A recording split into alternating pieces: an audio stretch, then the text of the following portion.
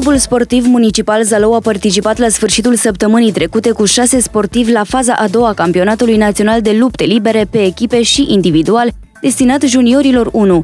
Patru dintre sportivii pregătiți de Cristian Crișan au evoluat foarte bine și s-au calificat în faza finală. Este vorba de Darius Ghiran la categoria 50 de kg, Sergiu Oros la 55 de kg, Petruț Moigrădean la 74 de kg și Ionut Sabou la 84 de kg. La competiția de la București au mai participat și Alexandru Mercea la 60 de kg și Andrei Sur la 66 de kg. Ambii au ratat la mustață calificarea. Tânărul antrenor de la CSM Zalău, Cristian Crișan, s-a declarat mulțumit de ce au realizat elevii săi, ținând să-l felicite în special pe Darius Ghiran pentru evoluția avută. Sunt mulțumit de evoluția băieților, se putea mai bine, dar, per total, sunt mulțumit.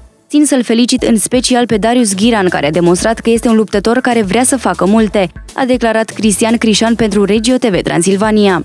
Turneul final al campionatului național de lupte libere destinat juniorilor 1 va avea loc la Iași în perioada 27-29 aprilie. Până atunci, luptătorii zeloani vor concura săptămâna viitoare la Iași la finala campionatului național destinat cadeților.